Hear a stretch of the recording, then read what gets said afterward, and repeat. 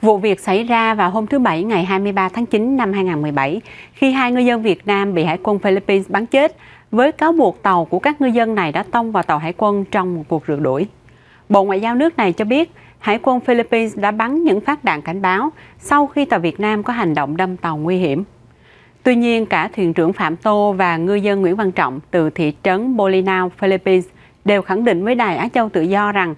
tàu đánh cá Việt Nam bằng vỏ gỗ chỉ bỏ chạy thôi, làm sao mà dám tông tàu vỏ sắt của Hải quân Philippines. Ông Phạm Tô, thuyền trưởng tàu cá Phú Yên số PY dài 96173TS kể lại khoảnh khắc tàu của ông bị Hải quân Philippines bắn. Trong thời gian nó bật xe thấy chỉ người đứng đầu nha nó dội xe xuống rồi nó, nó tàu ai quân mình biết rồi thì trong này diện bật bẫy đi những kem này bước xe xuống đường nó xe khác bầm bầm thì xuống bất lớn đi xuống nhà đi về đi, đi tàu em à, là anh nó là nó chết người rồi, là em đứng đứng tàu lại.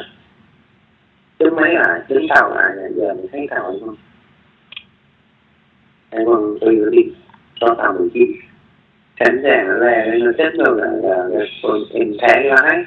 thẻ đi từ lái chạy ra ngoài coi hai người. Nằm dưới hầm hai đôi, à mũi hai đôi chết. Ông cho biết để tránh áp thấp nhiệt đới đang hình thành ở Biển Đông, cho nên tàu của ông đi từ đảo Sông Tử Tây cho đến tọa độ 16 độ 47 phút Vĩ Bắc, 119 độ 18 phút Kinh Đông vào lúc khoảng 5 giờ chiều. Ngày 22 tháng 9 thì thả neo nghỉ lại. Mọi người trên tàu mở đèn để câu mực xà, chờ áp thấp đi qua thì sẽ chạy về lại hướng Việt Nam. Ý định là như vậy, thì đột nhiên lúc 11 giờ 30 phút, tàu hải quân Philippines xuất hiện và rượt đuổi tàu cá của ông.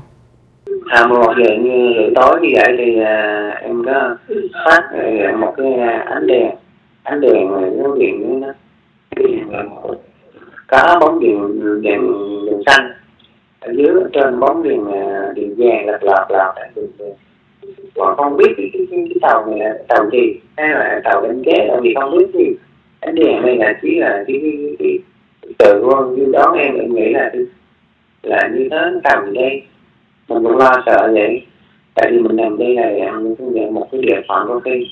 mà mình đây để đi tránh gió cho mà còn biết như thế nào là tức là tàu cướp biển hay là tàu ghé phi à, tàu tàu ghé phi tàu từ tàu sắt rồi nó qua tàu gỗ mình thì nó, nó đâm vô mình thì vỡ. Tìm nhựa bỏ mà ra cái nghĩ vậy rồi là em mới kiểu anh em chặt cái cái cái dây dây dây dây dây dây dây dây đi ra đó chặt chạy về hướng Việt Nam Ngư dân Nguyễn Văn Trọng, người ở cùng hầm với hai ngư dân bị bắn chết khẳng định. Dạ, mình ra tờ gỗ mà người ta tàu sắt làm theo giám phong. Lúc đó mình đã chạy thôi chứ làm sao mà về giám phong người ta được. Còn thuyền trưởng kim chủ tàu Phạm Tô thì cho rằng phía Philippines vì sợ tội cho nên đã đổ lỗi cho tàu ông đâm ba tàu của họ.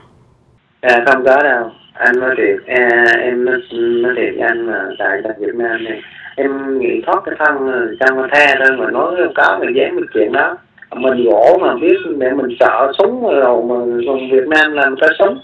à, mình nói đầu gỗ mình có xong cho thả đi mà có chuyện năm qua rồi dám là cái này là chỉ là đỡ cái khi tự nói ra đỡ cái thoát cái khi tội ở trên khỏi tình lòng người thôi cho em thấy cái này uh, mình gỗ mà có vụ mình đi mà gỗ mình bằng cái hộp mà hộp tắm rồi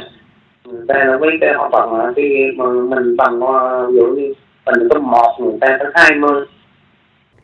đây là lần đầu tiên ngư dân Nguyễn Văn Trọng chứng kiến cảnh này khiến cho ông phải thốt lên quá hải. Dạ đây đất rồi nè. Dạ không bao giờ có chuyện nào xảy ra mà súng ống súng đèn như thế này nè. Dạ không bao giờ có chuyện gì như vậy đâu nè. Hầu giờ mà thấy một cái cảnh là quế độ chỉ là có thấy đuối rồi quắt vào gì Việt Nam thì thôi, chứ còn đây là nổ súng luôn quá hại theo thuyền trưởng Phạm Tô, thì ngư trường tàu cá của ông thường đánh bắt nằm ở biển khơi Việt Nam và không khi nào ra hải phận nước ngoài để đánh bắt. Trong thâm niên 20 năm đánh cá của ông thì sự việc này là chuyện có một không hai. À, cái này là Việt Nam chưa có, đây là lần đầu tiên. Nên Việt Nam nếu như giờ tỉnh là từ đánh bắt là họ chưa ăn được tài sản thôi nhưng mà được bao rồi chưa hồi giờ còn mấy bọn em là mấy Việt Nam rồi mà, mà chưa có ờ, mười mấy hai năm chưa nghi tình trạng mà khác những cái cái cảnh khác như vậy thì làm biến như vậy thì sẽ ai đã qua đi đây gặp công việc về như vậy thì các anh bắn các hai người là công việc như là có một con hai trong cuộc trả lời phỏng vấn qua điện thoại với Đài Á Châu Tự Do vào tối ngày 25 tháng 9, ngư dân Nguyễn Văn Trọng cho biết phía Philippines đã cho các ngư dân được xuống tàu, được nấu ăn tự túc và cho người canh giữ. Tuy nhiên không có gì căng thẳng cả. Nguyện vọng của năm ngư dân bị Philippines bắt giữ hiện nay là mong sao cho Đại sứ quán Việt Nam tại Manila can thiệp để có thể đưa xác hai nạn nhân về với gia đình và phía Philippines trả tự do cho họ để trở về Việt Nam.